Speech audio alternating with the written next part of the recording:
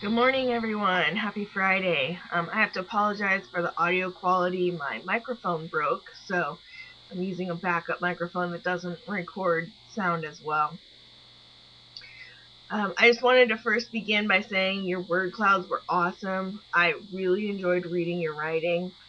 Um, I, I hope that you guys are seeing now that the additional technology is there to help you and is um, not just there to to make you do busy work.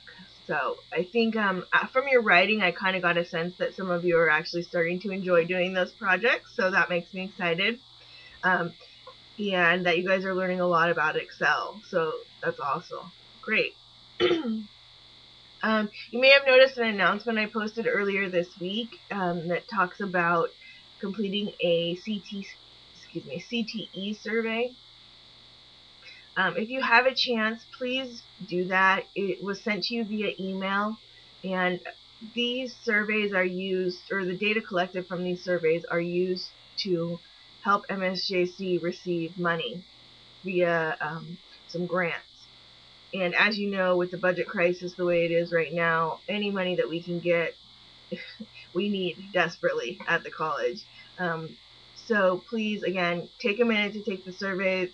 I don't see the information. Um, the information is kept strictly confidential. Your name is not attached to it.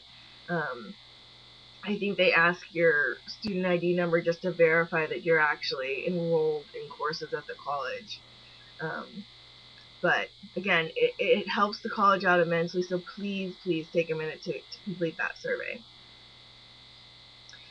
Um, I also added a button to the blogs area in the assignment section so you can quickly get to the blogs if you want to go back and read comments or um, go directly to the blogs page and, and see your blogs from there. I commented on everybody's blog for this week, so or for last week's blog. Um, for tutorial 5, the word cloud blog. I commented on every single one, so if you have, haven't taken a look, please go back and take a look at my comments on that. I also took all of your writings, so every single writing that was submitted, and I put it into one giant word cloud, and I posted that word cloud in my blog for the for the same week. So if you get a chance, go check that out. I think it's pretty cool. I'm really excited about the way it turned out um, with the words that were enlarged, um, excel, learned, um, class. So to me, it really represented what I thought I was hearing from all of you guys in your writing. But I'd like to hear your thoughts. So if you have a second, you want to check it out and uh, leave a message for me, uh, that would be great.